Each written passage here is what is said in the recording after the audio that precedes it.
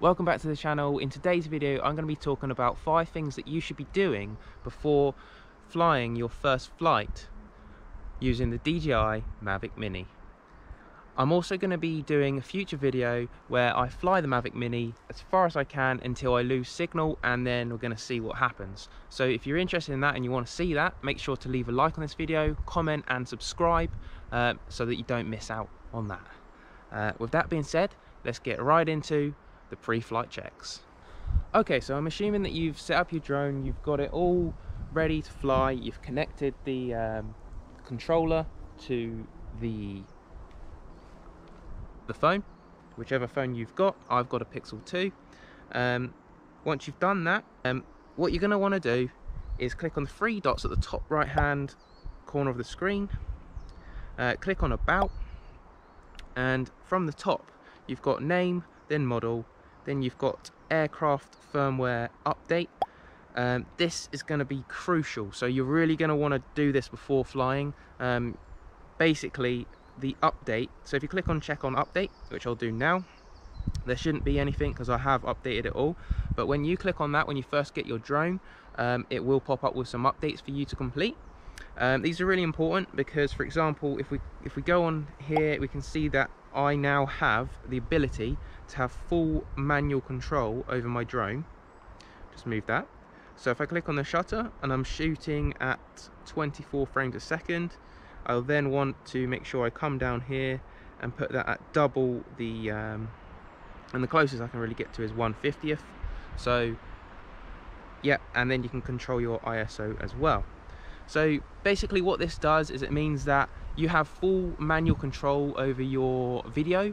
Um, so the, the exposure mid-flight isn't just going to randomly change um, automatically and it just looks a little bit more professional and really it's just a cool feature to have. So I would definitely recommend making sure you update your firmware. Next, um, check the FlySafe database as well, update that then if you if we move on over to the camera and we come on down to storage and format. So what you're going to want to format every time before you take off. This prevents any kind of um, error or sort of data corruption on the memory card or anything like that. So make sure you clear your memory card and then you are ready to go. Once you've done that if you come down to advanced shooting settings just here there's a little tick box called um, the histogram. We want to see that because when we're in manual mode, if we come here, we can see uh, on the histogram, just on here on the screen, um, if the histogram is peaking at all, you're losing any details in either the whites or the blacks, um, the histogram is going to tell you that. So if you can see that line there is touching the right hand side of the wall, that means that we are losing a little bit maybe on the highlights. Um, so you might want to up the shutter speed and then bring that down. Um, and then everything basically then you'll know everything is properly exposed. If it's too dark then that will all be all the way over to the left. For example if I just increase my shutter speed um, all the way up you'll see that that curve just peaks right over to the left hand side of that histogram. And if I put it all the way down we get it over to the right. So that's just really a really useful tool for manual um, filming Alright, so once you've done the histogram, the other thing you can use is the overexposure warning. So if I click on that, you can see here that I have got um, the zebra lines up in the top left-hand corner of the screen. So that, that means that the sky is being blown out, which is okay, but sometimes you don't want it to be blown out. So if I put the shutter up just a little bit, um, maybe depending on how much it's blown out,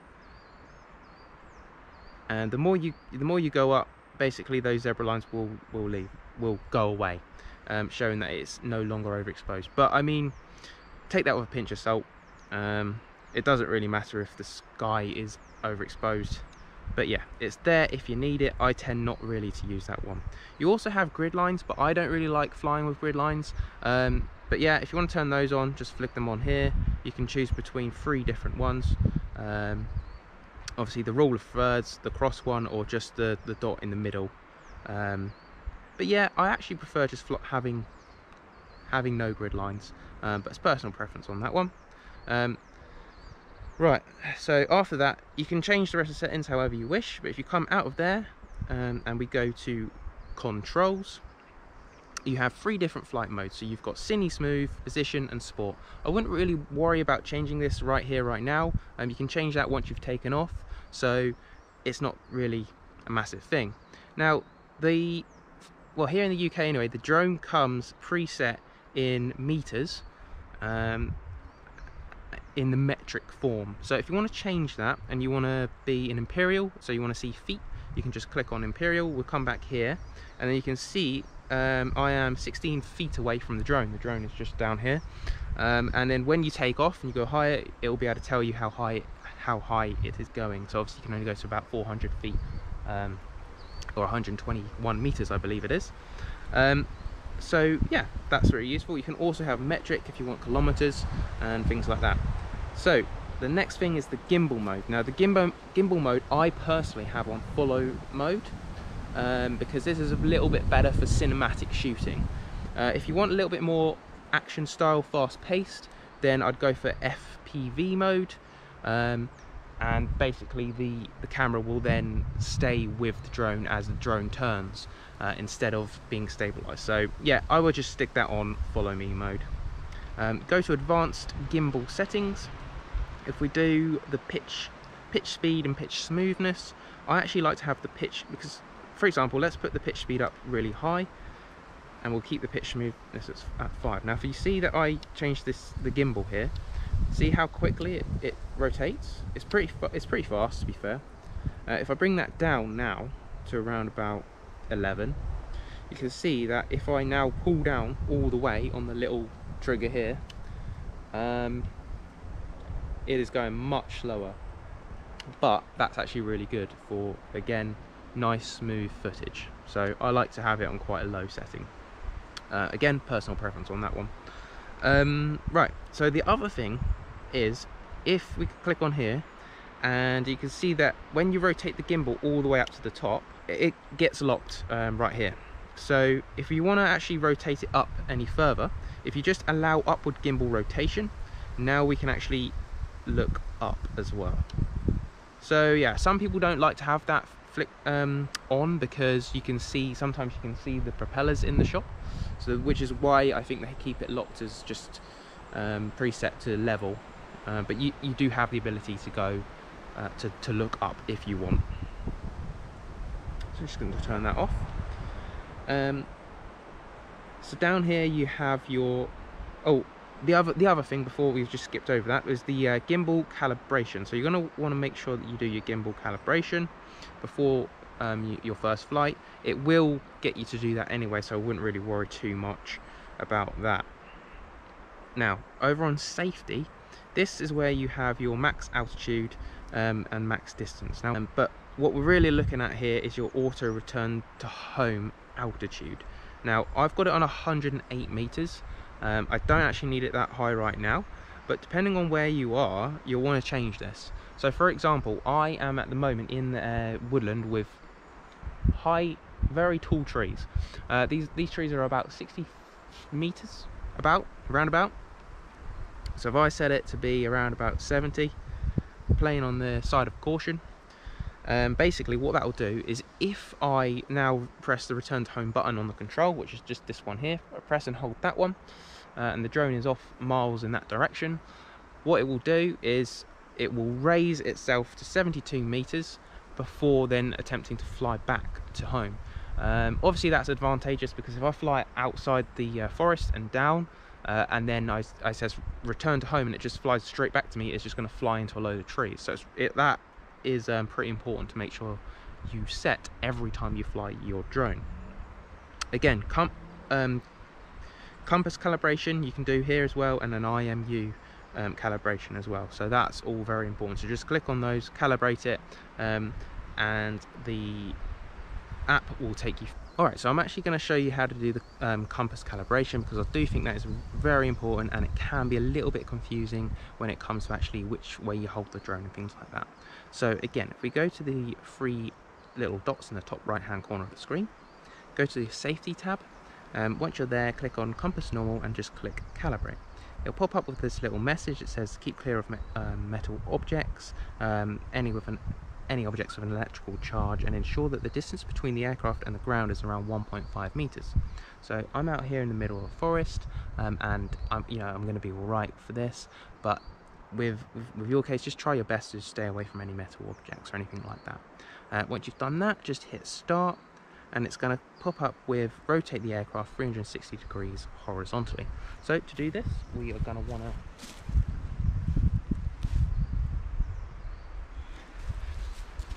just put down the uh, put down the control phone so you can see it from there. Now hold the control here, uh, hold the drone here like this, and just rotate 360 all the way around. So we're 1.5 meters off the ground. One round, and we've got the green light on the back of the drone shows us that we've just completed the first, the first one. So that's done. Uh, so we'll look down at it and now be telling us um, to ro rotate the aircraft 360 degrees, but this time vertically. So to do that, we're going to flip it so that the camera is facing up towards the sky, um, and you can see the green light here. We're now going to be rotating this 360 all the way around. There we go.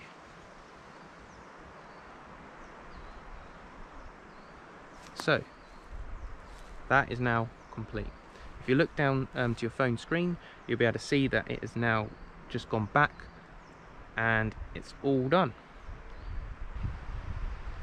You also have on here a find my drone feature, which is very useful to know if you lose your drone. Obviously, if you click on there, it will it will take you to the maps and then it will show you where your drone is and how far away you are. You can also open that up into Google Maps and if you want directions there, you can get directions. So yeah, uh, that is a really cool feature. Now, on advanced safety settings, you want to make sure, you want to come in here and make sure, I know that it's probably preset anyway, but you want to come in here and make sure that you, on the signal loss, so if you're flying your drone and, uh, and it loses signal between the drone and the controller, uh, the drone automatically takes control of the flight and returns to its home location. So I've got it set to that because it could, there's two other options, there's descend and there's hover and you don't really want that if, uh, if your drone is miles, like literally a long way from you, you don't want it just descending into God knows what. It could be descending into trees or a lake. Um, I think the best option there is for it to just return back to where you are. So I, I think that's quite important there. Um, yeah, um, so the other thing is to note, uh, when you start up your drone, uh, it should automatically set a home point, a return to home point. Um, if it does not do that, that there is a way to actually set your your home point uh, but you have to be in flight before you can do it. So it's just here under safety. If you tap on update home point um, if I do it now it will say use when aircraft is, is in flight. So if you take off and it hasn't set a home point and you, or you're not sure if it has um, just open up the settings. So top right hand corner of the screen um, safety and then update home point and then that will do that for you Alright, so the last thing I'm going to show you today is how to take off the drone and the few different ways you can do that. So the first way I took off the drone was to press the, um, the little up arrow on the left hand side of the screen and then you simply just hold down on the takeoff button. Make sure your drone isn't like in long grass or anything like that. I'm actually using the little case that comes with the drone as a sort of a little landing pad there um, so yeah, I'm just waiting for that signal on the GPS to get better. There we go. So now you just hold down on takeoff until the green light goes all the way around the circle. As soon as you let go, it's going to take off. So here we go. And it will automatically, you don't have to do anything, it will automatically go to around about 1.5 meters or so, one meter. Uh, and then from there on, you can um, fly your drone. So yeah, um, the other way so in, when I'm in an environment like this, uh, the way I land it is I just bring the drone over to me um, and I pull down on the left hand trigger all the way down. So all the way down and I just catch it in my hand. Um, it's got sensors on the bottom so when you put your hand underneath it will fly up. If you just hold it down it will eventually come down to your hand. Um, right so the other way to take off, I'll just quickly show you that. So the other way we can take off is by pulling the analog sticks out to the left or in or in in or out basically. If you pull them out like this the propellers down there you may be able to see them um, actually have now started. So I can sort of rev the engine a little bit by just pulling up on that uh, and then if you push all the way up it takes off. There you go. So that is how you do that as well. Woo.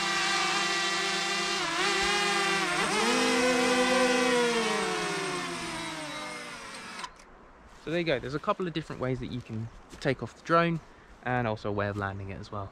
So that's pretty much it to be honest. Um, this this is the first drone I've ever had um, and I just remember basically taking it off. I literally got it out the box, charged up the batteries, set it down, um, pressed the takeoff button and, I, and it was flying and I was like, oh my god, I don't know what I'm doing.